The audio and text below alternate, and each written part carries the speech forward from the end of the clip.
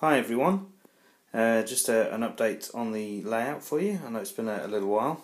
Um, as you can see, I've started some scenery work. Um, I was getting a bit fed up with the electric stuff, so uh, I changed over to uh, to do some scenery. Um, so what I've done here is I've removed the the cork that was kind of in the middle there. So I've got a triangle out there, and round the back that's going to be kind of a wasteland field type uh, affair down there. Um, I've painted in between the lines down here in black because that's going to represent uh, cinders and, and ash and coal, that kind of stuff. So I've got the the walling in kind of place where it's gonna gonna live that side of the GCR station, which uh, of course is now missing uh, because I've got uh, some ballast laid. Um, so that's drying off at the moment. And there's rather a lot of ballast there. Um, I've yet to kind of level that off. Um, what I did was I put uh, some some glue down first. Then I laid the ballast on top of the glue. Um, when the glue's dried, I'm going to try and scrape off the excess, and then uh, I shall be using the standard method for laying ballast in between the lines of the uh, the dropper and the uh, PVA and and uh, washing up liquid. So that should give then the GCR yard the uh, the desired effect. So it's kind of uh, just a grubby mess. That's what I really wanted in there. So I've done a bit more painting. So that's where the platform ends there. So that's just been cut out again in a little triangle, and then again that's cut out around there. Uh, so I've put the undercoat in basically. This is just the earth coats. Um, first of all, for the painted areas. Let's move back around a bit. So this is what I've been using, some uh, tester pots. So we've got like a chocolate matte chocolate colour and a black paint there from uh, from the supermarket or the store. Uh, and they're just mixed together, painted on quite roughly, uh, but mixed together. So the next lay, uh, stage there is to start putting um, like a PVA down again and put grass across the top of that, just various tones of grass uh, across there. Um, I've got the ordinary ballast here for the uh, for the lines around here, so I shall be ballasting through just to about there-ish uh, in the tunnel and then around here uh, as well. And I'm going to run the the ballast along here on those two lines. Um, I've got some more walling that I've pretty much finished. It's just over here, so it's in sections still. Um, so some of it is going to go at the back of here when the ballast is dry down there, and then the rest is going to carry on down along the front there.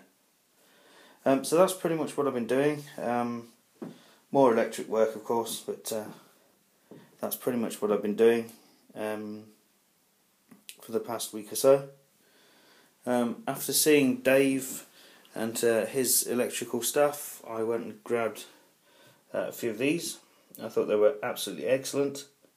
So I've got some of those which are going to go under the under the board uh, to uh, to provide lighting for uh, sorry um, power for lighting that kind of stuff. So that should save me a heck of a lot of trouble.